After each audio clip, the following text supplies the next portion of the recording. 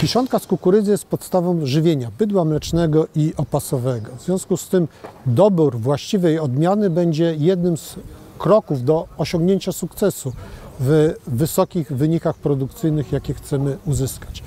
Odmiany kukurydzy, szczególnie te nowe, charakteryzują się wysoką strawnością włókna. Włókno to jest źródło energii dla przeżuwaczy, z tego względu, że to włókno jest w żwaczu rozkładane przez mikroorganizmy. W związku z czym te nowe odmiany kukurydzy będą powodowały to, że więcej energii zwierzęciu dostarczymy. Jest, czy mówi się w ten sposób, że odmiana żyje 5 lat, czyli co 5 lat pojawiają się nowe, lepsze odmiany kukurydzy. W związku z tym hodowcy nie powinni się przywiązywać do kukurydzy czy do danej odmiany kukurydzy, tylko co jakiś czas wymieniać swoje portfolio odmian, które uprawiają. Y, dalej powinniśmy wybierać typowo kiszonkowe odmiany kukurydzy. One charakteryzują się tym, że są z reguły to większe rośliny, czyli dają więcej zielonej masy z hektara, mamy więcej paszy. Dwa to są bardziej ulistnione odmiany, w związku z czym one przez zwierzęta są lepiej wykorzystywane.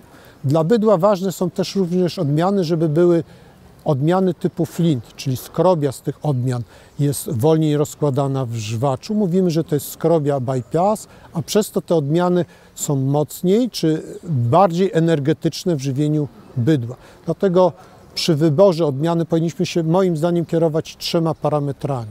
Po pierwsze plonowaniem, po drugie wartością energetyczną i po trzecie tym typem ziarna, które e, w odmianie się znajduje. Zachęcam hodowców bydła, żeby y, siali odmiany o różnej liczbie V.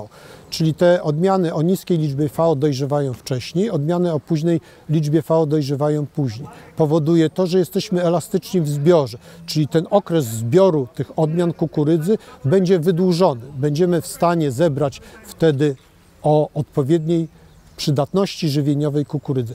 Wysianie jednej odmiany powoduje, że ona dojrzewa na polu nam jednocześnie. Musimy się bardzo mocno skoncentrować czy sprężyć z tym zbiorem kukurydzy.